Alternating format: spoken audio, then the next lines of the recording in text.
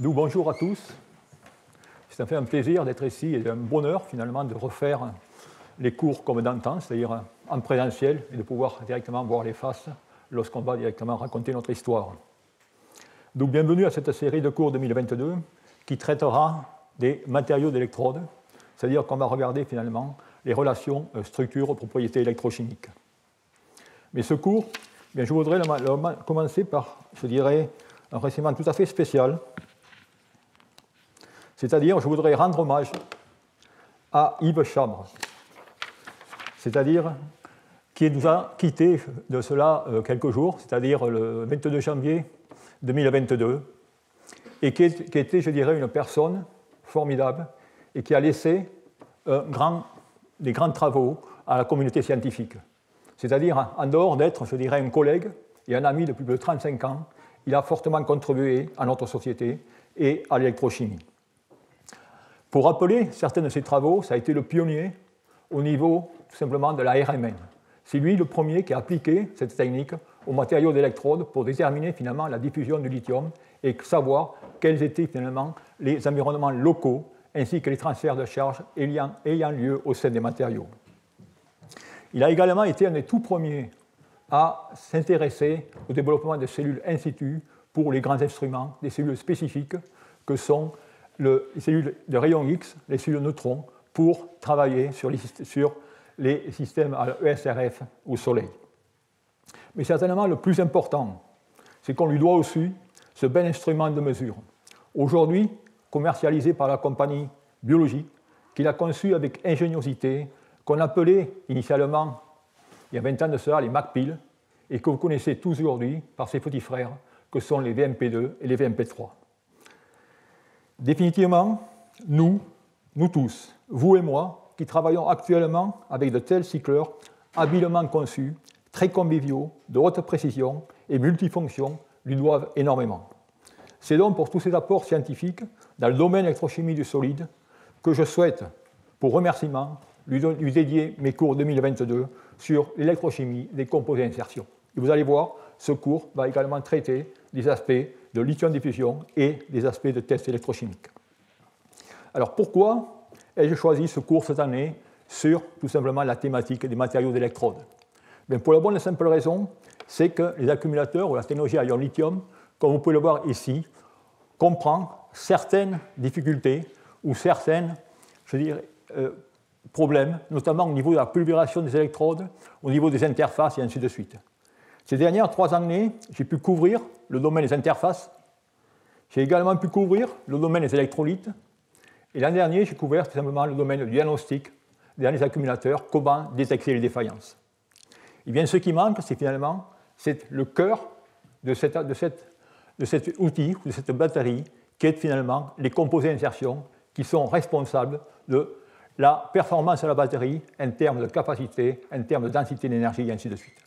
D'où le cours que je vous propose cette année, ou la série de cours, eh va comprendre six cours qui vont, je dirais, balayer tous les composés d'intercalation en allant de composés lamellaires à des composés trois-dimensionnels, en allant d'oxyde ou de sulfure à des oxydes, mais également couvrant tous les problèmes de transfert de charge et ainsi de suite. Et ces cours seront euh, suivis de séminaires donnés par des notoriétés dans le domaine, soit au niveau de la synthèse des matériaux, soit au niveau des familles de matériaux que je ne pourrais pas traiter, mais qui sont des composés d'intercalation, soit de molécules gazeuses, soit d'ions, soit euh, tout simplement d'entités moléculaires. Et c'est la raison pour laquelle vous aurez des exposés sur les MAXEN, qui sont une nouvelle classe composée, les MOF, qui sont des composés très importants au niveau d'absorption gazeuse, et ainsi de suite. Donc voilà, si vous voulez, le menu de cette série de cours. Alors ce premier cours, que j'ai intitulé Le matériau d'insertion, c'est-à-dire des sulfures ou d'oxydes, qui va être associé à la technologie lithium-métal ou lithium-ion. Tout d'abord, je vais vous faire un rappel sur le principe d'une batterie lithium ou lithium-ion, les critères à respecter dans le design de composés d'insertion, l'arrivée des composés d'insertion, comment ils sont arrivés, quelle histoire derrière tout cela, et certainement les aspects structuraux électroniques associés aux réactions d'insertion au sein de l'électrode. Et là, on fera pas mal de fondamentales où j'essaierai de vous donner les bases pour que vous puissiez suivre ce cours par la suite. Enfin, on passera à la technologie lithium-métal et le sulfure. Les avancées scientifiques et les déboires au niveau du développement durable, vous verrez comment cette technologie qui était là, qui était, je dirais, prête à rentrer dans le laboratoire, elle n'a pas pu le faire pour des raisons de sécurité. Et enfin, je mentionnerai plus en détail des, composés d'insertion avec des centres redox variés qui pourront être atomiques, moléculaires et ainsi de suite. D'où, pour commencer, je rappellerai bien sûr ce que ceux qui travaillent dans mon laboratoire connaissent très bien, c'est tout simplement le schéma d'une batterie à ion lithium ou à lithium-ion qui est constitué de deux électrodes, comme indiqué ici, qui sont ces fameux matériaux d'insertion que l'on va étudier en détail cette année. Alors si on regarde un tel, un tel accumulateur, eh bien, il va vous donner la courbe électrochimique classique, qui est l'apparition du potentiel en fonction de la capacité, dans lequel vous voyez ici une décharge et une charge. Ce qui est important au niveau pratique va être tout simplement la surface sous cette courbe, qui est tout simplement la densité d'énergie. Et c'est ça qui va dicter finalement l'autonomie de votre appareil électronique. Une autre chose importante, notamment dans les concepts de développement durable, eh c'est ce que j'appelle l'efficacité énergétique. C'est-à-dire, automatiquement, il va falloir que dans ce cas, lorsque vous allez recharger votre accumulateur, il faut que la polarisation entre la charge et la décharge soit la moindre possible pour ne pas gaspiller d'énergie. Et c'est ce que j'appellerais l'efficacité énergétique. Alors ensuite, eh tout cela eh va se résumer sous une simple équation, si j'ose dire, qui est la densité d'énergie, qui est tout simplement le produit du potentiel par la capacité. Alors bien sûr, tout ça me paraît très simple, mais on va voir cette en détail quelle, est la science derrière tous ces termes. Tout d'abord, le potentiel qui va régler, je dirais, la tension de sortie, il va être fonction de la structure du banc des matériaux, et j'y reviendrai assez longuement. Ensuite, la capacité, elle va dépendre, dans ce cas, du nombre de lacunes qu'il va y avoir dans ces matériaux d'insertion, c'est-à-dire de la structure cristallographique. D'où déjà le message, les structures électroniques et cristallographiques de ces matériaux vont être essentielles pour gouverner les performances de tels accumulateurs. Alors en tant que chimiste du solide, eh bien, on va essayer tout simplement de dessiner des matériaux de façon à augmenter cette densité d'énergie. Et pour cela, eh bien, on a tout simplement deux degrés de liberté on va tout simplement augmenter le potentiel, et dans ce compte-là, il va falloir connaître la structure de bande du matériau, ou alors on va pouvoir directement, dans ce cas, eh augmenter la densité d'énergie en augmentant la capacité, c'est-à-dire en augmentant le nombre d'ions lithium que l'on va pouvoir insérer dans notre matériau, c'est-à-dire que dans ce cas, il va falloir dessiner des structures d'accueil qui contiennent ou puissent contenir pas mal de matériaux. Tout ça, c'est juste deux conditions lorsqu'on parle en termes de performance. Mais il y a beaucoup d'autres figures de mérite qu'on doit prendre en considération lorsqu'on veut faire un matériau idéal. Et ce matériau idéal, le rêve, si on pouvait l'avoir, on ne l'a pas encore atteint, c'est tout simplement d'avoir une conduction électronique élevée, une diffusion du lithium importante, un potentiel redox, comme je vous l'ai mentionné, important, de nombreux cités cristallographiques, quelque chose de chimiquement stable ou électrochimiquement stable à de hauts potentiels, un coût, une faible toxicité et je dirais, des particules larges, car en électrochimie ou dans les matériaux d'intercalation pour les batteries, des matériaux nanométriques sont problématiques en raison de fortes réactions, je dirais, de catalyse. D'où voilà ce qu'on va chercher. Et vous allez voir que finalement, que le tableau périodique va être réduit. Il va être réduit, c'est qu'on va être loin de pouvoir utiliser les 118, les 118 éléments, car on doit obéir à certains concepts de développement durable. C'est-à-dire que dans ce cas, vous voyez qu'on va, va extraire déjà de nombreux composés qui sont toxiques, d'autres qui sont radioactifs, d'autres qui sont lourds. Rappelez-vous de la formule que j'ai mentionnée auparavant. La capacité est inversement proportionnelle à la masse et également les matériaux qui sont coûteux. Ce qui fait que pour faire du fondamental, oui, tous les éléments seront, seront possibles pour déterminer des matériaux modèles. Par contre, si on fait de l'appliqué, il va falloir des matériaux abondants, bas coût, faible, poids, non toxique et vert. Alors maintenant, si je regarde un peu avec ces conditions, quelle est l'évolution? Eh bien, ici, sur ce transparent qui est très intéressant, je suis en train directement de vous projeter quels sont les éléments qui, à ce jour, dans, l'écorce terrestre, sont autour de plus de 20 ppm et suffiraient pour, je dirais, satisfaire les productions et les marchés envisagés du véhicule électrique. Et vous voyez que dans ce cas, eh on a encore quelques éléments et des méthodes, et des méthodes 3D. Maintenant, si je me projette directement en 2040, en connaissant l'expansion du marché du véhicule électrique, vous voyez que maintenant, il me faudra des éléments dont je dirais, l'abondance dans l'écorce terrestre sera supérieure à 200 ppm. Et c'est la raison pour laquelle aujourd'hui, dans les laboratoires qui travaillent sur les formes composées lamellaires, dont je vous mentionnerai plus tard, eh bien, on s'est fait du cobalt pour des raisons éthiques. Tout le monde prêt à sauter sur le nickel. Et aujourd'hui, on se pose des questions sur le nickel où tout le monde veut directement préparer des matériaux qui sont riches en manganèse. D'où, comme on peut le voir ici, eh bien, c'est une cible mobile. Et bien sûr, il y a le quid du recyclage.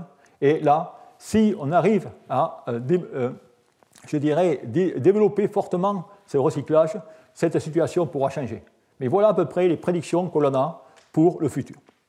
D'où, eh bien, c'est dans ce tableau périodique limité qu'il va falloir que le chimiste du solide eh bien, dessine de nouveaux matériaux.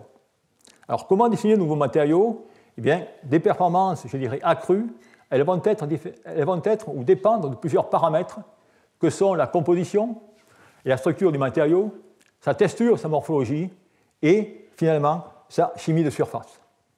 Alors, au niveau de la conception de nouveaux, de nouveaux matériaux, on peut certainement utiliser les machine learning, l'intelligence artificielle, mais en tant que chimiste, on va tout simplement utiliser nos belles bases, que sont tout simplement la liaison chimique, la structure, et surtout tirer parti de l'analogie avec les minerais pour dessiner des matériaux.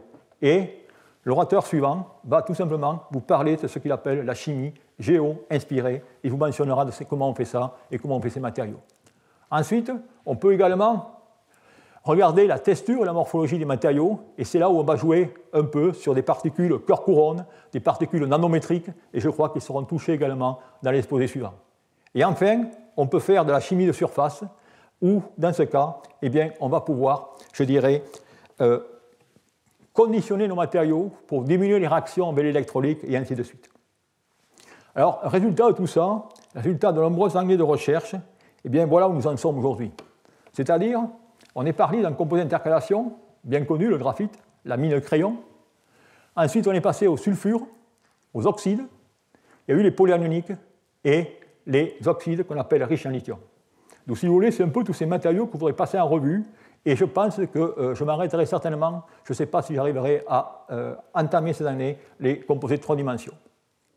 Alors, bien sûr, on fera cela en fonction de la dimensionnalité, et il y a également tous les matériaux avec le sodium.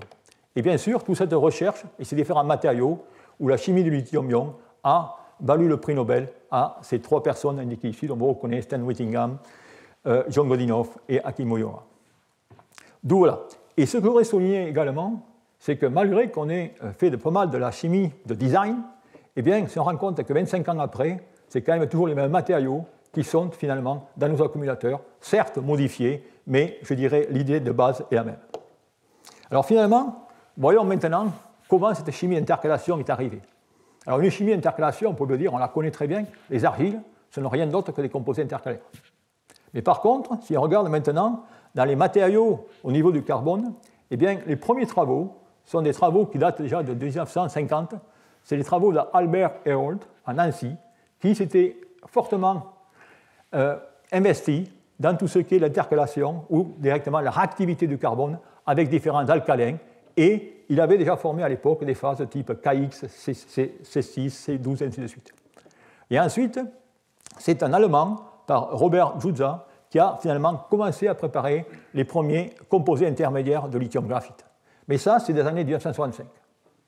Et ensuite, il y a eu un papier qui, malheureusement, n'est jamais trop bien cité, mais qui, pour moi, est le papier clé de cette chimie d'intercalation. C'est un papier par un single auteur, qui est Day, qui écrivait ici, et ça c'est un papier qui date des années 1970, où il a montré que l'on pouvait faire tout simplement de l'intercalation du lithium dans des alliages grâce à une cellule électrochimique dans laquelle ils utilisent des électrolytes, comme vous pouvez le voir ici. Et ça, je dirais, c'est un papier qui a été clé et qui va être, je dirais, primordial par la suite. Alors ensuite, ça, je dirais, c'est des composés d'électrons négatifs, il fallait des composés d'électrodes positives, c'est-à-dire des, composés qui puissent capter ou intercaler le lithium à plus haut potentiel. Et là aussi, vous allez voir, on va aller vers une classe de composés qui étaient déjà fort connus, qui sont les dicalcogénures de métaux de transition. Eh bien, tous ces composés, ces dicalcogénures de métaux de transition, ils ont fait le bonheur des physiciens dans les années 1970. Pourquoi? Parce que tout simplement, c'est des matériaux, c'est des sulfures. Les sulfures, vous avez des matériaux covalents, des matériaux qui sont relativement métalliques, et ce qui était intéressant à l'époque, c'était la supraconductivité, c'est-à-dire des composés qui, en dessous d'une température critique, eh bien, peuvent conduire le courant sans effet Joule. Et à l'époque, vous voyez, on n'était pas au supra OTC, on était à des supras de 3 à 4 degrés K, mais on, utilisait, on regardait ces matériaux parce que les physiciens à l'époque testaient la fameuse théorie de BCS, Barden, Cooper et Fisher, qui, euh, Shriver, qui directement avait montré le, fondamental de la, supraconductivité qui était liée directement dans la chimie quantique de l'électron et euh, voir pour ce qui pouvait se passer. Et grâce à ces matériaux, eh bien, l'équipe de Ted qui d'ailleurs a vécu jusqu'à 101 ans, qui est décédé il y a un an, avait tout simplement préparé une quantité formidable de composés lamellaires dans lesquels on pouvait intercaler toute une sorte de molécules. Des molécules qui sont soit des amines, comme vous pouvez voir ici, soit des alcanes, et ainsi de suite. Et le but dans ce cas, c'est tout simplement de séparer les feuillets et de voir comment la supraconductivité, c'est-à-dire la température critique, variait en fonction du transfert de charge entre ces feuillets. Dans le même tabac, à l'époque, puisqu'on regardait maintenant les instabilités de réseau dues à la supraconductivité, il y a eu également dans les mêmes années beaucoup d'engouement autour d'un autre phénomène qui est les matériaux à haute densité de charge. Là aussi, ce sont des matériaux métalliques qui sont propices à des surfaces Fermi qui ont un nesting, et dans ce cas, on peut avoir une haute densité de charge. C'est-à-dire que, comme vous voir ici, en fonction de la température, il va y avoir une modification structurale qui va entraîner une périodicité de la charge électronique. Et dans ce cas, on va obtenir, comme on peut voir ici, des transitions métal-isolantes de type bed-Pyers euh, pour les matériaux 1D ou 2D. Et on voit très bien cela dans cette courbe de résistivité. Vous voyez un changement, je dirais, drastique de la résistivité, et surtout les courbes de subtilité magnétique dans lesquelles vous avez à cette transition de Pyers une ouverture du gap et automatiquement une décroissance directement de cette euh, conductivité. D'où la question, c'est comment finalement ces matériaux ont ensuite atteint le domaine de l'électrochimie. Bien cela s'est fait une fois de plus par cette intercalation des composés lamellaires, comme indiqué ici, notamment avec Stan Whittingham, qui était tout simplement un postdoc de Fred Gamble, qui a développé toute cette physique des matériaux euh, des décalcogénures. Et de l'autre côté, un groupe français, dont Jean Rouxel était le leader, s'est intéressé à la même époque à la préparation d'intercalaires ioniques, lithium, sodium, potassium. Même ici, il avait réussi, grâce à des, expériences à l'état gazeux, d'introduire des éléments comme le plomb, comme le, nickel dans ces matériaux. Et enfin, eh bien, tout ça a donné lieu aux premiers travaux, je dirais en parallèle, de euh, Jean Rouxel et Stan Whittingham sur finalement ces composés d'intercalation à base de titane, et notamment TS2, qui, vous allez voir, a une histoire par la suite. Alors maintenant, la question qu'on peut se poser, c'est quelle est la science derrière ces réactions d'intercalation Et c'est là où je vais passer les quelques dix prochaines minutes à vous expliquer réellement le fondamental de ces matériaux. Alors la science, au niveau réaction chimique, elle est relativement simple. C'est que vous prenez un, un composé lamellaire, comme indiqué ici, et vous allez, dans ce cas, mettre du lithium. Donc automatiquement, ce qui se passe, c'est qu'il va falloir que vous intercalez du lithium ainsi que des électrons. C'est-à-dire, c'est en électrochimie, chaque fois que vous voulez faire une réaction, c'est la dualité ion-électron. D'où par conséquent, eh bien, il va falloir que vous trouviez des places, une place au niveau de la structure, où vous pouvez directement apporter ce lithium ou apporter cet électron. Eh bien, dans ce cas, au niveau du lithium, eh bien, c'est tout simplement la structure cristallographique qui va déterminer où est-ce que le lithium va aller. Et bien sûr, il va vous falloir des lacunes ou des espaces où, si c'est octaédrique, c'est on y viendra par la suite, où le lithium va pouvoir aller. Ensuite, eh bien, il y a l'électron. D'où où est-ce que va aller cet électron? Eh bien, Cet électron, il va aller tout simplement dans la structure de bande. Et cette structure de bande que j'ai représentée ici, je vais y revenir par la suite, eh bien, vous avez des bandes 2P, des bandes euh, liantes, antiliantes, et un niveau de Fermi. Mais ce niveau de Fermi a une importance capitale, car ça va tout simplement vous donner le potentiel redox, et on peut voir ce niveau de Fermi par un simple potentiel redox.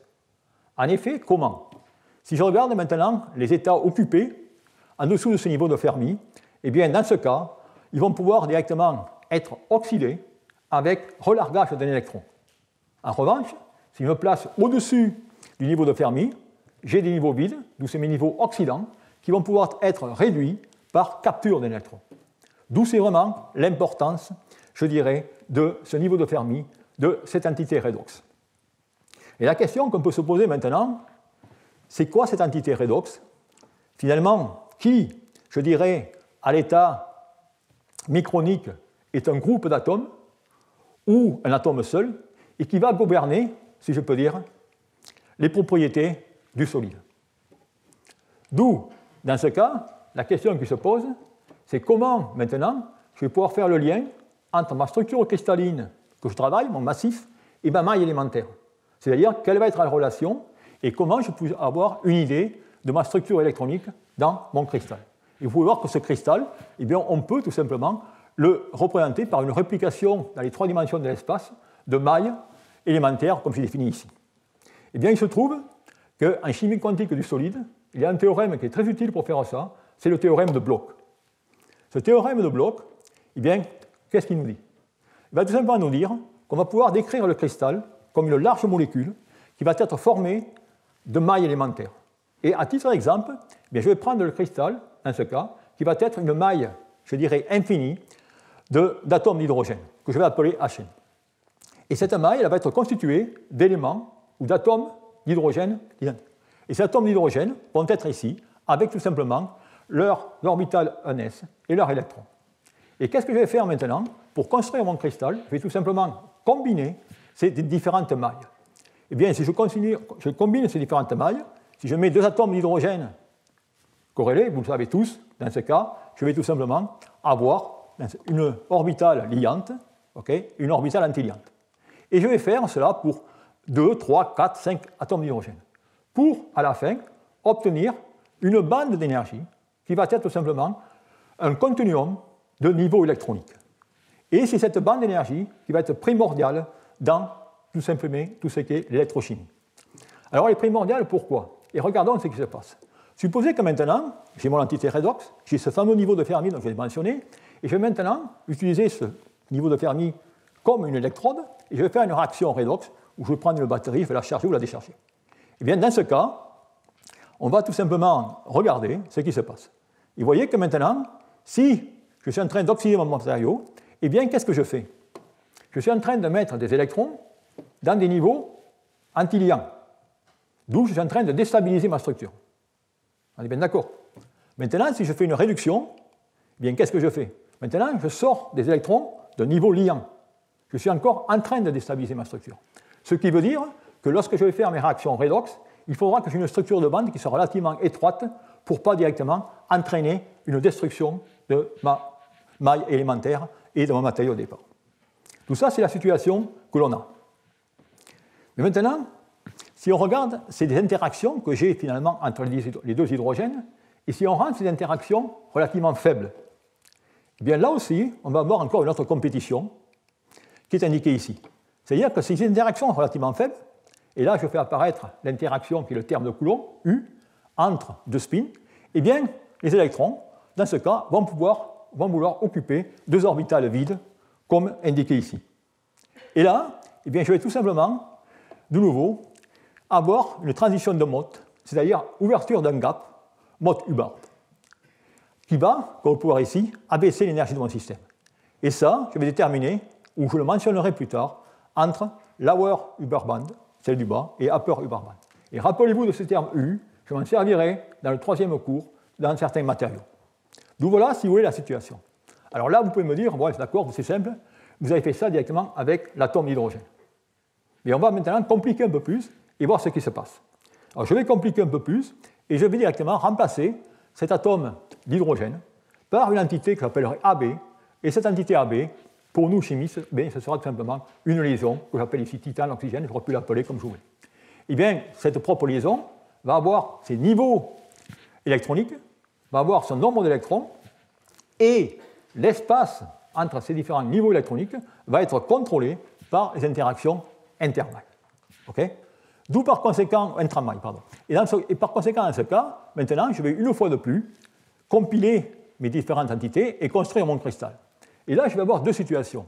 Une situation dans laquelle eh bien, ma largeur de bande va toujours être inférieure à la séparation entre mes niveaux discrets directement dans mon entité de départ. Et dans ce cas, j'aurai ce que j'appellerai des, réactions redox classiques. Et ça, je peux, vous pouvez voir ça comme une bande anionique, si vous voulez, et ça comme la bande catonique et la bande D. Et maintenant, je vais avoir un autre cas dans lequel, où, finalement, les interactions intramailles seront inférieures aux interactions intermailles. Et ça veut dire qu'en ce compte-là, je vais avoir des bandes qui vont devenir de plus larges que mes niveaux discrets au départ, et je vais avoir maintenant eh bien, un recouvrement ou un transfert d'électrons d'une bande à une autre. D'où tout ça pour montrer que lorsqu'on va concevoir un matériau d'électrodes, eh bien, il va y avoir l'importance de cette structure de bande, où la nature des bandes eh bien, va me donner finalement ma valeur de mon couple redox, et maintenant le nombre de bandes que je vais avoir à mon niveau de Fermi, c'est-à-dire le nombre de bandes dans lesquelles je vais pouvoir prendre des électrons, eh bien, dans ce cas, il va me permettre de contrôler la capacité. Donc voilà, si vous voulez, ce qu'on peut faire. Alors on peut maintenant revenir sur des choses qu'on connaît beaucoup plus, et finalement, c'est quoi cette entité AB Bien, cette entité AB, ce n'est rien d'autre que ce qu'on connaît tous très bien en chimie du solide, ce n'est rien d'autre directement que cette liaison ionique ou cette liaison covalente.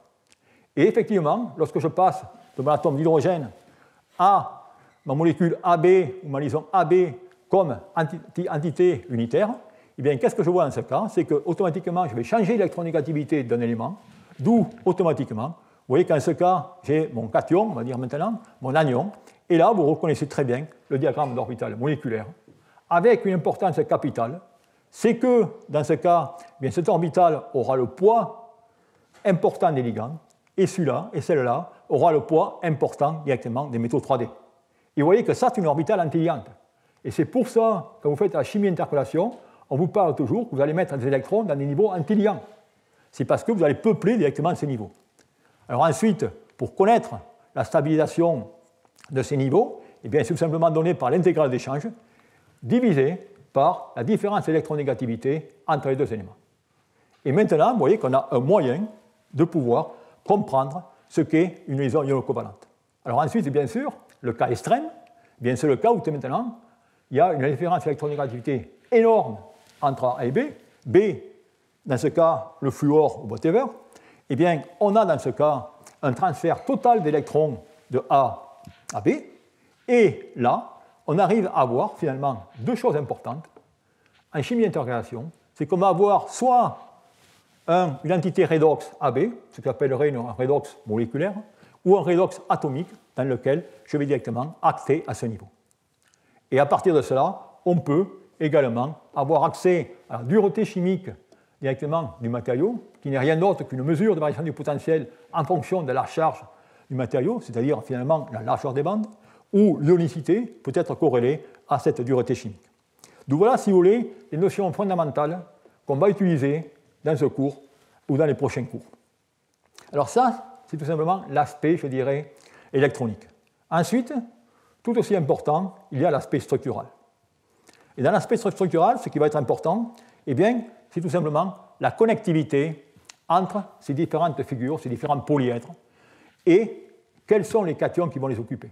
Et bien sûr, vous allez avoir des tétraèdres, vous allez avoir des octaèdres, avec bien sûr la cavité à l'intérieur de tétraèdre qui sera plus moindre que celle de l'octaèdre, et toutes ces entités eh bien, vont pouvoir se connecter dans l'espace, soit en partageant des arêtes, soit en partageant des farces, soit en partageant seulement des sommets. Et tout cela eh bien, va nous donner, je dirais, une panoplie de composés qui vont être des matériaux à comportement moléculaire que j'appellerai 0D, des matériaux 1D, et on en verra certains aujourd'hui, des matériaux 2D, dont j'ai déjà mentionné les calcogénures, et les matériaux 3D, que sont les spinels et la plupart des composés polyanioniques. Donc voilà au niveau structural. Ensuite, bien sûr, là je vous parle seulement des cations. Maintenant, on va regarder ces espèces invitées et où est-ce que va aller tout simplement le lithium. Et là, eh bien, ça va être le sujet de pas mal de discussions dans le deuxième ou troisième cours, lorsqu'on va regarder les composés lamellaires. C'est-à-dire que le lithium, eh bien, il peut aller dans trois sites. Trois sites qui sont des sites octaédriques, tétraédriques et trigonales prismatiques. Et bien sûr, les deux préférentiels sont octaédriques et trigonales prismatiques. Et ça, cette occupation, elle va tout simplement dépendre de la répulsion coulombique entre les oxygènes qui sont tout simplement situés dans ces feuillets. et selon que ce delta sera important, plus il y aura de répulsion, et eh bien, dans ce cas, une configuration octaédrique est plus propice à retenir ou à accepter cette euh, contrainte qu'une une situation trigonale prismatique. Et ça, si vous voulez, ça a des importances capitales. Importance capitale, une simple, c'est que vous pouvez expliquer pourquoi les calcogénures vont former des structures 2D, alors que les oxydes ne formeront pas de structures 2D, ou très difficilement. Eh bien, la bonne et simple raison, c'est indiqué ici, c'est que si maintenant je prends mes calcogénures, mes structures TIS2, NBS2, bien dans ce cas, on n'a aucun problème, parce que les charges sur le sélénium ou sur le soufre sont relativement délocalisées, d'où automatiquement la structure va se comporter. Maintenant, si je mets un oxyde, l'oxyde, il va directement vouloir piquer les électrons et avoir une charge delta très forte. Donc si je mets deux oxydes ou deux feuillets oxydes l'un en face à l'autre, il va être difficile de les stabiliser. Il y a, et heureusement, parce que c'est nos matériaux d'électrodes, une astuce. Et l'astuce est indiquée ici. Voilà directement finalement les composés idéaux pour les oxydes. Et vous apercevez que V2O5, on peut le stabiliser tout simplement en une structure lamellaire. Pourquoi? Parce que le vanadium est l'état d'oxydation plus 5, d'où étant d'oxydation plus 5, il va directement tirer l'électron, ma charge delta moins va devenir faible, d'où dans ce compte-là, je vais pouvoir directement maîtriser mes répulsions. Lithium cobalt dans ce cas, eh bien, j'ai également mes composés lamellaires, mais là, eh bien, je suis obligé d'y mettre lithium entre comme ciment pour directement m'assurer que j'ai ce, contact. Et c'est la raison pour laquelle, lorsqu'on voudra sortir le lithium de ce composé, mais la plupart du temps, la structure directement va se débobiner. Et enfin, les fameux composés que vous connaissez tous, qui sont les électrodes de batterie nickel métal hydrure, nickel OH2, où dans ce cas, finalement, le, ciment entre les feuillets n'est pas, je dirais, le, lithium, mais est tout simplement le proton. D'où voilà directement euh, ce. D'où, à ce stade, finalement, je vous ai mentionné toutes les considérations électroniques, je vous ai mentionné les considérations structurales, et maintenant, il n'y a plus qu'à jouer, et à jouer avec le tableau périodique, en, bien sûr, connaissant les limitations que je vous ai mentionnées dues au fait qu'on a des matériaux toxiques peu abondants et ainsi de suite, et on va tout simplement jouer avec ce tableau périodique en sachant des paramètres importants. Je vous ai mentionné la différence électronégativité, et ça, on sait comment elle varie lorsqu'on va de la gauche à droite et ainsi de suite.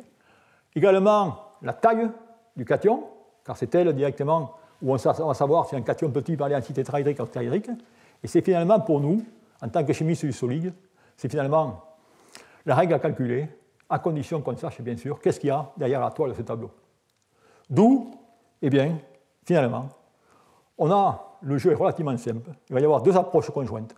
Il va falloir jongler avec les atomes et ajuster notre structure de bande pour tout simplement dessiner ces fameux matériaux. Alors tout cela, eh bien, on va, on va voir que jouer à cette structure de bande va avoir des conséquences importantes et parfois, ça va se faire en synergie avec des changements structuraux. Alors, un exemple que je vais prendre, c'est tout simplement le cas des calcogénures, dans lequel je vais tout simplement passer de la gauche vers la droite du tableau périodique. Et vous allez voir ce qui se passe.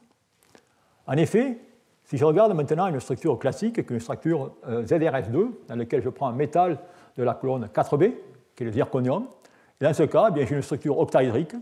Zirconium plus 4 est un D0, d'où automatiquement j'ai le niveau de Fermi qui se trouve dans un espace vide, j'ai un semi-métal. Maintenant, je vais tout simplement me dépasser tout simplement vers la droite le périodique, et je vais passer tout simplement un métal dans la colonne 5B qui est le nobium. Et eh bien dans ce cas, je vais rajouter un électron dans ma structure, je vais dans ce cas modifier ma structure cristallographique, car je vais directement maintenant, mon métal voyez, qui, va coordonner octaédriquement va devenir trigonal prismatique, et il va entraîner un splitting ou un éclatement de ma structure de bande avec les niveaux A'1, E'1 et E seconde, comme indiqué ici. Et dans ce cas, Nobium va être simplement un D1, d'où je vais occuper directement ma première bande ici, qui est ma bande DZ2 à moitié remplie, d'où j'aurai dans ce cas un comportement métallique. je peux maintenant continuer encore, et je vais dans ce cas directement passer au molybdène, qui lui va m'apporter deux électrons. Et vous voyez qu'en ce cas, il m'apporte deux électrons, et le molybdène va être dans ce cas un semi-métal, et vous allez voir, on va revenir sur le MOS2, car il y a une belle histoire, je dirais, derrière. Et enfin, si je continue ainsi, eh bien, qu'est-ce qui va se passer? Je ne vous l'ai peut-être pas fait remarquer, mais lorsque je m'amuse à faire cela, je suis en train directement de baisser mes niveaux directement des cations. Et si je continue, je vais arriver au fer. Et dans le cas du fer, eh bien là, qu'est-ce qui se passe? Les niveaux du fer sont en train maintenant d'aller me couper les niveaux des chalcogènes. Et c'est ce que vous mentionnez dans la structure de bande auparavant. Dans ce cas, eh bien, je vais avoir un transfert d'électrons, ce qui fait qu'on va avoir l'oxydation du soufre et on va avoir maintenant une structure trois-dimensionnelle qui va être type FS2, dans lequel je n'aurai plus de S2-, mais je vais avoir des dimères SS2-. Donc voilà, si vous voulez, comment on peut s'amuser dans ce tableau périodique. Alors ensuite, on peut continuer à s'amuser, et maintenant on peut descendre dans ce tableau périodique en passant du soufre au tellure. Et dans ce cas, qu'est-ce qu'on fait? Et On change l'électronégativité, on va monter, dans ce cas, les, orbitales SP, et on va aller directement couper ces orbitales D et ajuster les propriétés. Et enfin, on peut faire la même chose en changeant, dans ce cas, eh bien, euh, je dirais, les euh, métaux en passant du titane, zirconium et hafnium, où là aussi, eh bien, on va pouvoir tout simplement modifier ces différentes euh, relations entre les propriétés électrochimiques et les propriétés électriques. Donc voilà, si vous voulez, toutes ces notions. Alors maintenant, on va commencer à prendre ces notions, ou plutôt à voir les matériaux et comment ces calcogénures sont vraiment arrivées, à quoi ils ont servi. Alors la première fois, d'ailleurs, que euh, le lithium a été mis dans ces matériaux, ou je dirais des molécules, ça n'a pas été fait de façon électrochimique, ou pas, au début du moins, ça a été fait par des réactions, je dirais, en phase liquide ou en phase gazeuse, comme indiqué ici. Par exemple, une expérience classique, vous prenez le disulfure de tantal, vous allez mettre dans ce cas sous NH3, et en fonction de la température, eh bien, vous allez tout simplement, dans ce cas, obtenir la phase, l'intercalaire lamellaire avec NH3. La même chose pour, pour mettre directement dans le cas aussi avec des solutions aqueuses, comme indiqué ici. Et enfin, électrochimiquement, cela a été fait aussi, dans lequel on a pu insérer, ou les chercheurs ont pu insérer, de la pyridine par utilisant, je dirais, ce montage électrochimique dans lequel le calcogénure est utilisé comme électrode positive avec une anode de platine, une électrode de calomel, avec des solutions indiquées ici. Donc voilà, si vous voulez, la façon dont, dans un premier temps, premier temps, c'est-à-dire les équipes de Stan Whittingham et de Jean Rouxel, ont regardé ces matériaux. Et ensuite, est arrivé, je dirais, l'électrochimie et tout d'abord, les fameuses réactions dont je vous mentionne souvent, ces fameuses réactions avec N-butylithium. Eh bien, en effet, N-butylithium a été utilisé pour mimiquer, si vous voulez, la réaction électrochimique. Pour la bonne et simple raison, c'est que N-butylithium est un agent redox dont le potentiel de coupure est aux alentours de 1,1 volt. Ça veut dire que vous allez pouvoir réduire tous les composés qui vont pouvoir intercaler le lithium à plus haut potentiel. Et vous voyez qu'ainsi, on a pu, sans aucun, mystère, intercaler directement tous ces composés avec du lithium. Vous avez ici, pour la petite histoire, les paramètres de maille, ainsi de suite.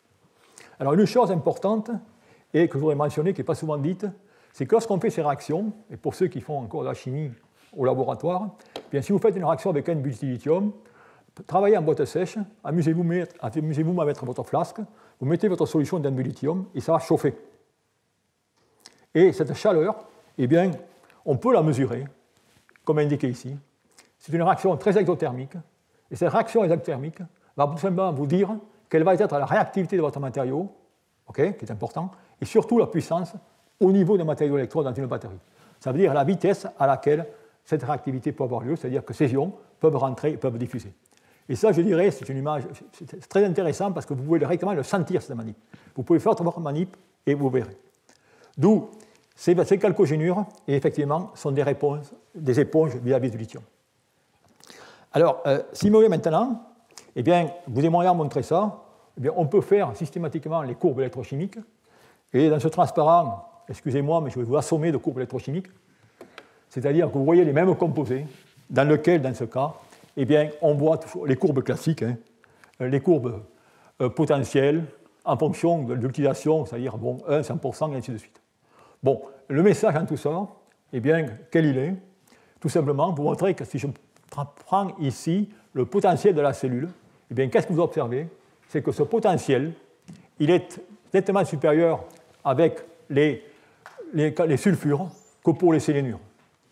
Simple raison, je vous ai rappelé, vous rappelé auparavant, c'est que dans ce cas, eh bien, le sulfure est euh, plus électronégatif que le sélénure, d'où les niveaux directement vont changer, vous avez un potentiel. Et non. Ensuite, je dirais qu'il n'y a qu'une exception intéressante parmi ces matériaux, qui est le cas du disulfure de, de de vanadium. En effet, dans le disélénure de vanadium, eh dans ce cas, on peut y mettre, je dirais, deux électrons.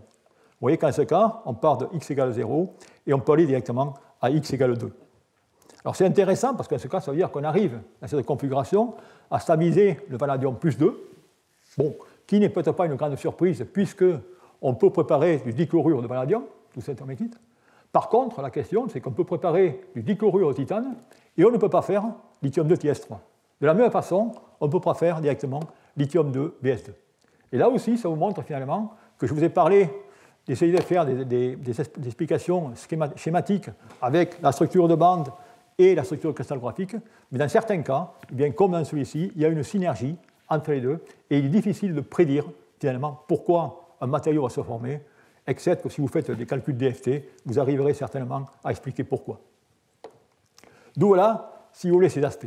Alors maintenant, qu'est-ce que je vais faire? Eh bien, de tous ces matériaux, je vais tout simplement choisir deux ou trois qui ont conduit à des développements intenses à l'époque dans les laboratoires de Label, dans les laboratoires d'Exxon ou à euh, Molly Energy. Alors le premier, eh bien, c'est TIS2. Et ça, c'est les travaux de euh, Stan Whittingham, dans lesquels, à Exxon, il a lancé un groupe de recherche pour développer et pour exploiter euh, ces composés TIS2. Alors, comme on peut le voir ici, c'est des matériaux qui ont des performances, je dirais, très intéressantes, avec des polarisations relativement faibles, des densités d'énergie qui, je dirais, sont également relativement correctes, et ces matériaux ont été convoités pour des applications. Avec une certaine difficulté, c'est que ces composés lamellaires, certaines fois, eh bien, ils vont co-intercaler le solvant. Alors c'est la raison pour laquelle on peut chercher des polymorphes de ces matériaux, et un polymorphe qui existe, c'est un composé TS2 qui n'a pas une structure lamellaire, mais qui a tout simplement une structure cubique.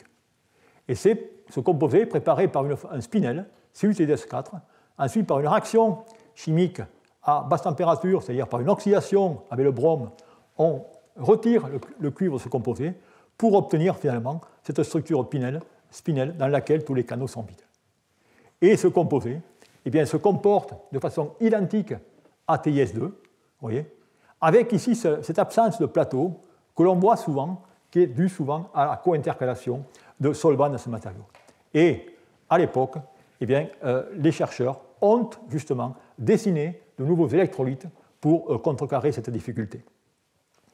Alors, euh, alors dans, ces années-là, effectivement, Whittingham entraîne, je dirais, Exxon dans le développement des batteries lithium TX2.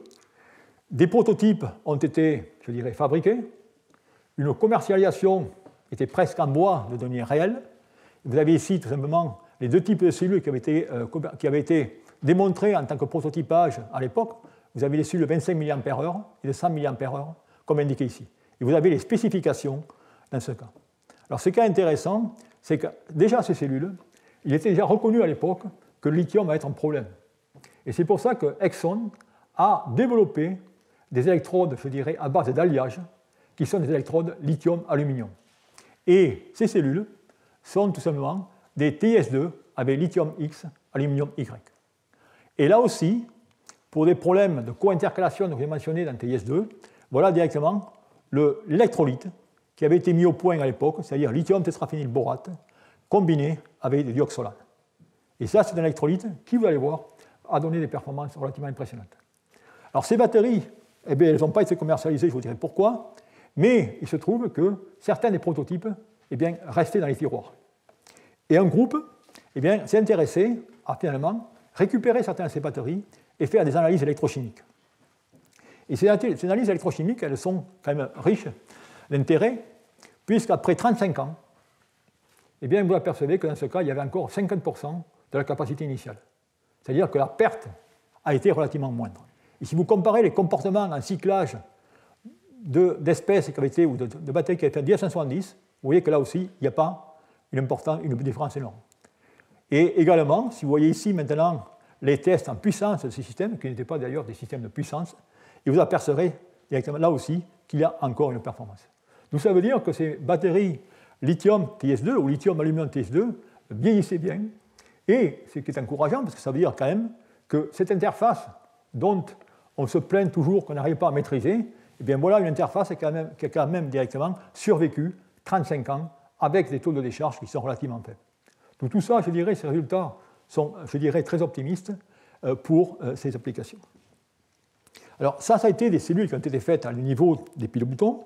Il y a eu également des cellules de plus grande, je dirais, format qui ont été faites, notamment qui a été exposé à un show en 1978 à Chicago. Vous voyez ici ces accumulateurs de euh, lithium. Donc l'avantage de, de, de, ces matériaux, c'est que TS2, c'est un, matériau très léger. Il peut réagir avec un lithium, qui lui des capacités relativement importantes. Par contre, la synthèse de TS2 poudre, c'est pas top, c'est pas facile. Et ça réagit à l'humidité donnée H2S. Et c'est la raison pour laquelle, après cet effort colossal, si je peux dire, eh bien, Exxon a arrêté son programme en 1980. Et toujours, dans de telles histoires, les scientifiques vont blâmer les ingénieurs de ne pas avoir fait le travail, et vice-versa. Mais l'histoire se termine ainsi à Exxon. Alors, intéressant, c'est qu'en même temps, bien de l'autre côté, je dirais, du côté du Canada, il y avait un autre scientiste, un physicien, qui s'appelait directement Rudy Erin. Et Rudy Erin, eh bien, notamment pour ceux qui connaissent le chef c'était le chef de thèse de, de chef Dan, eh bien, il travaillait sur MOS2, et ce matériau l'intéressait fortement, pour la bonne et simple raison, c'est qu'il y avait des mines de MS2 à Vancouver. D'où il va contacter son collègue Norman Kenil, qui était CEO directement de cette compagnie qui fabriquait du MS2, et ils ont directement fondé la compagnie Molly Energy. Et voilà directement l'origine de la compagnie Molly Energy, qui va aller voir sur une batterie qui, n'est pas, qui est loin d'être très performante, mais c'est comme ça directement. Alors c'est intéressant parce que là, vous allez voir directement un physicien qui va directement coupler fondamental et appliqué, et en faisant du beau fondamental et du bel appliqué. Alors, fondamental, mais on prend cette phase MOS2. Je vous en ai déjà parlé, phase lamellaire, impeccable. Maintenant, si je fais l'intercalation, vous voyez qu'en ce compte-là, si je fais un delta X de 0,1, qui est relativement faible, je ne mets pas beaucoup de capacité, bon, ça cycle méchant bien. Par contre, maintenant, si je veux mettre un lithium, qu'est-ce que vous apercevez? Je directement, je décharge, j'ai ici un plateau, et ensuite, voilà mon composé qui cycle. Et cette courbe de cyclage est totalement différente de ma courbe initiale. D'où là, il y a quelque chose quand même de spécial. D'où ce groupe, ces chercheurs sont allés comprendre ce qui se fait. D'où pour comprendre ce qui se fait, eh bien, tout simplement, ils sont allés directement faire de la diffraction X in situ. Et à cette diffraction X in situ, qu'est-ce qu'ils ont aperçu? C'est que sur ce plateau, eh bien, j'avais tout simplement deux types de MOS2, une phase alpha et une phase bêta. Et on peut directement tracer l'intensité lorsqu'on va directement parcourir ce plateau, de voir la phase qui va être primordiale.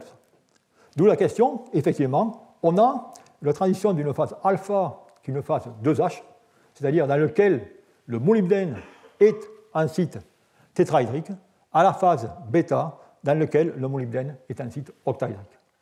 D'où la question, c'est pourquoi cela Que se passe-t-il? Et que se passe-t-il? Eh bien, c'est là où il faut revenir au fondamental, c'est qu'il faut calculer maintenant quelle va être directement l'énergie G ou l'énergie Gibbs de la lithiation. Et cette énergie va avoir plusieurs paramètres. Tout d'abord, il y a le terme anthropique, la configuration anthropique. Et cette configuration anthropique, eh bien, elle vous dit directement que si on va à haute température, je vais tout simplement favoriser la phase octaédrique. Ensuite, il va y avoir la répulsion coulombienne. Rappelez-vous, il va y avoir mes deux oxygènes, je vais y mettre du lithium, ou mes deux soufres, dans ce cas, je vais mettre du lithium. Et vous apercevez que dans ce cas, eh bien, automatiquement, je vais augmenter ma charge sur mon chalcogénure, d'où je vais pouvoir passer en structure octaédrique. Mais finalement, ce qui est le plus important, eh bien, c'est quoi? C'est cette fameuse structure de bande. En effet, si maintenant on fait la structure de bande de ces deux matériaux, comme on peut voir ici, eh bien, je trace l'énergie en fonction de la densité d'état pour deux configurations. Voyez La phase 2H, rappelez-vous, trigonale prismatique, et octaédrique. Si je fais, je commence par la phase octaédrique, vous allez comprendre de suite. Voilà ma densité d'état. Et ici, vous voyez tout simplement le splitting de mes bandes D avec, dans ce cas, mes 6 niveaux qui correspondent à mes T2G et mes 4 niveaux EG. Et vous voyez que dans le composé, je dirais, où j'assure, c'est-à-dire que je n'ai pas de lithium, eh bien, je vais remplir avec deux électrons et je vais en comportement métallique. Maintenant, si je regarde ma structure 2H, trigonale prismatique, vous voyez qu'en ce cas, j'ai un gap de 1 électron-volt. D'où, automatiquement, quand je vais mettre des électrons, je vais devoir directement aller, ça va me coûter en énergie. Et c'est la raison pour laquelle, maintenant, lorsque je regarde mes structures qui sont lithiées, eh bien, je pars de cette structure et je vais convertir cette structure, et ensuite mon composé va rester, va évoluer en structure octaédrique. et ça, ça peut se calculer par des mesures DFT et ainsi de suite, et vous avez la variation de cette, euh, énergie de Gibbs en fonction de la configuration octaédrique et de la configuration trigonale prismatique. D'où, là aussi, ce que je veux souligner, c'est l'importance de l'aspect fondamental pour faciliter l'utilisation d'un matériau d'électrode. Alors tout ça, eh bien, comme je l'avais dit, ça conduit à, tout simplement, la création de molénergie et au développement de ces fameuses, cellules molicelles. Alors quand je vous disais que ces cellules, elles ont l'avantage, bien sûr, du développement durable, on va miner les matériaux, c'est très, euh, abondant, peu coûteux, mais regardez quand même les performances qui sont loin d'être glorieuses. Vous voyez qu'en ce cas, 50 Wh par kilo. Pour vous donner une idée, aujourd'hui avec lithium-ion, on est à 220. Mais à l'époque, eh c'est déjà la première au niveau des batteries lithium-métal. Et c'est la première technologie qui a été commercialisée. C'est-à-dire qu'en décembre 1988, il y avait 2 millions de cellules lithium-S2 sur le marché. Et je dirais, la joie n'a pas duré très longtemps, parce qu'au printemps 1989, incident de sécurité sur le terrain, les cellules prennent feu. Alors pourquoi ces cellules prennent feu? Eh bien, pour la bonne et simple raison, c'est qu'on en revient au problème d'andrite au lithium.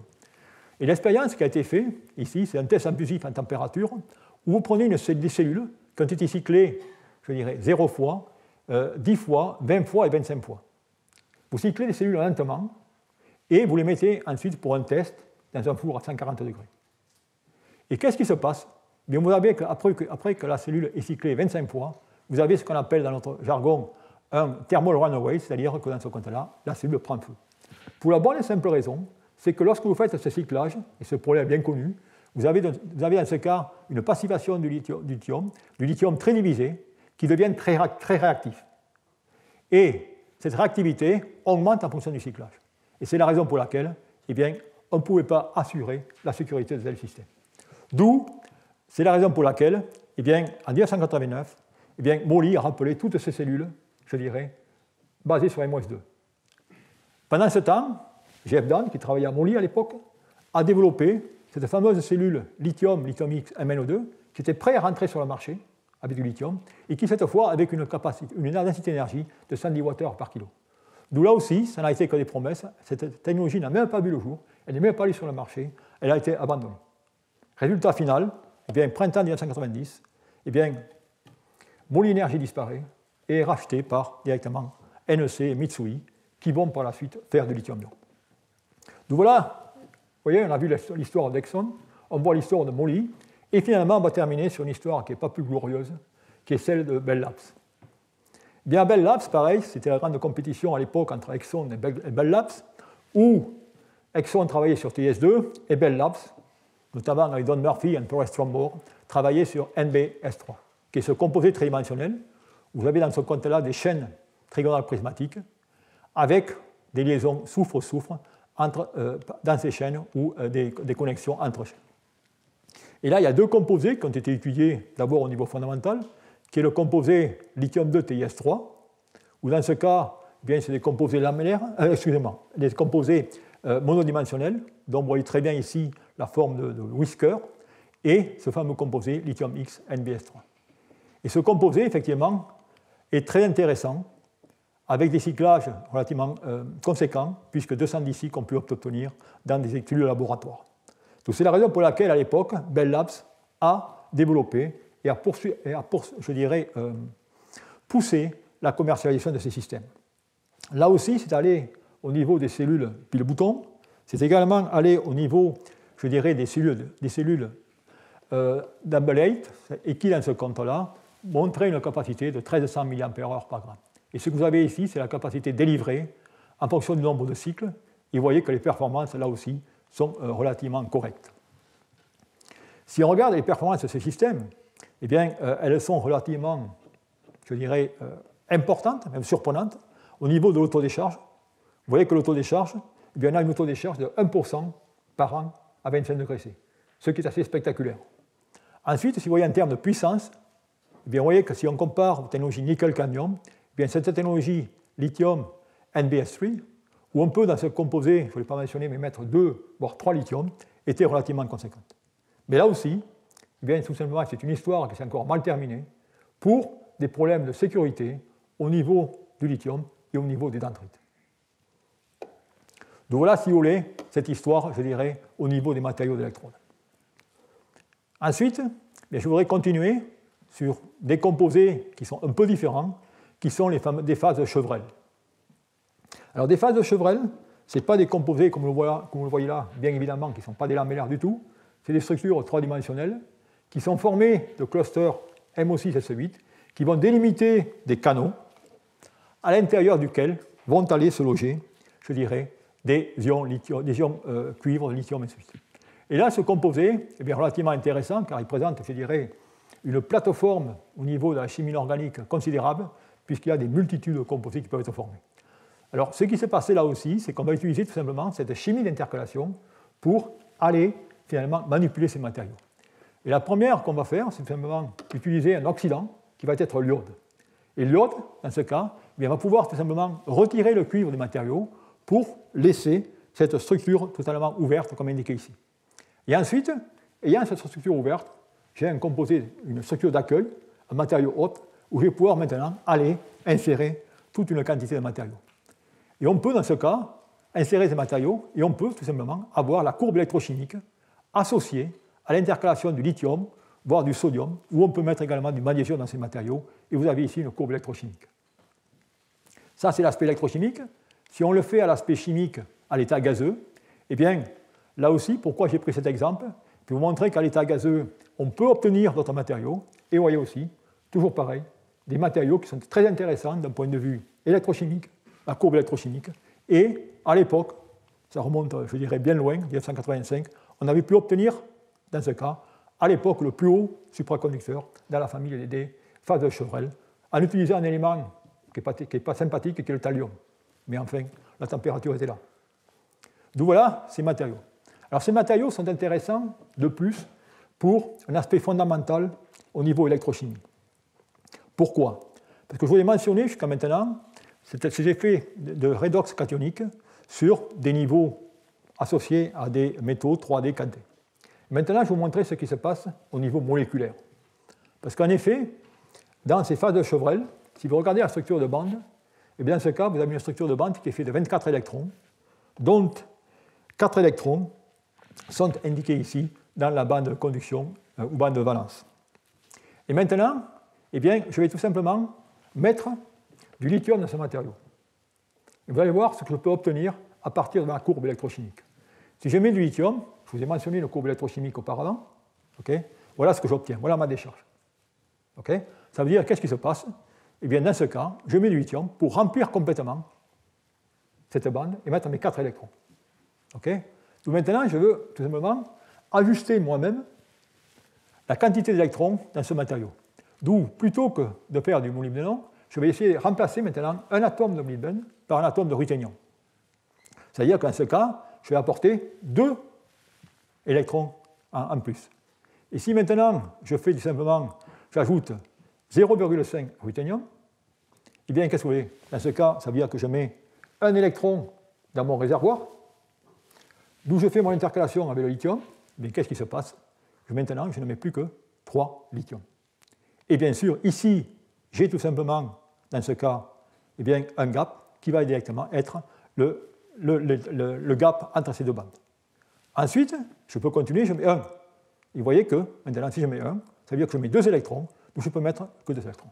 Et tout cela vous démontre, si je peux dire, la puissance de l'électrochimie comme une spectroscopie pour aller sonder la structure de bande des matériaux. On est bien sûr dans ce cas, dans le cas de niveau moléculaire, mais ça vous montre directement cette possibilité.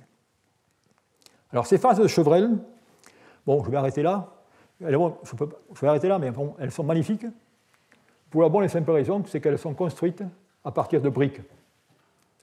Et ces, briques, eh bien, comme on peut voir ici, on va pouvoir faire de la chimie de condensation.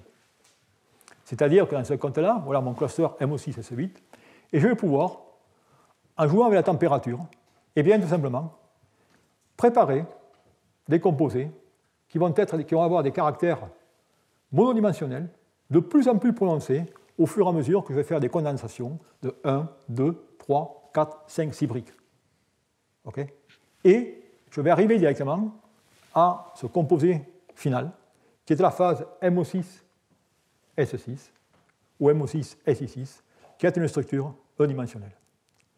Et bien sûr, tous ces composés ont des, euh, réactivités euh, spécifiques en électrochimie vis-à-vis de l'intercalation du lithium. Et pour vous illustrer cela, je en prendrai un qui à l'époque était très original, qui est le composé monodimensionnel, que j'appellerai MO6S6 ou lithium-2 MO6S6. Et ce matériau, eh bien, c'était un des premiers à l'époque des composés que j'appellerais amphotères, pour la bonne et simple raison qu'il peut se réduire ou qu'il peut s'oxyder. Et c'est ainsi qu'à l'époque, ça, va dans les années 1985, on avait dans ce cas eh bien, euh, préparé la première, si je peux dire, batterie symétrique, utilisant le même composé comme électrode positive et comme électrode négative. Donc voilà, si vous voulez, ce qu'on peut faire sur ces matériaux. Bon, je crois que je vais, je suis que je vais être obligé de m'arrêter là, et puis euh, on continuera la prochaine fois. D'où merci à vous encore, et bien sûr, je voudrais introduire le prochain orateur qui va vous euh, présenter de façon beaucoup plus concrète tout ce qu'est la chimie géo-inspirée, tout ce qu'est la nanostructuration et comment cela peut être utile, je dirais, euh, pour tout ce qui est matériaux d'électrode dans le futur. Et David Portolo vous fera cela euh, dans 5-10 minutes. Peut-être on peut prendre 5 ou 10 minutes de repos avant de relancer, si vous voulez, ou 5-10 minutes. OK? Merci encore.